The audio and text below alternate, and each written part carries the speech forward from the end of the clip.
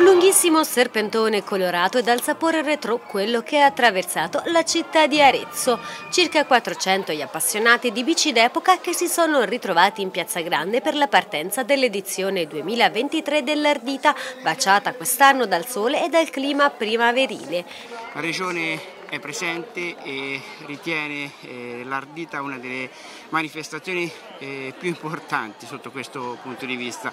La ciclostorica dell'Alpe di Poti è un eh, valore da tutelare eh, anche dal punto di vista della regione e noi ci crediamo, abbiamo messo ecco, il nostro eh, patrocinio proprio perché riteniamo che sia un'iniziativa eh, meritevole. A precedere il via l'esibizione degli sbandieratori della giostra del Saracino Ticino.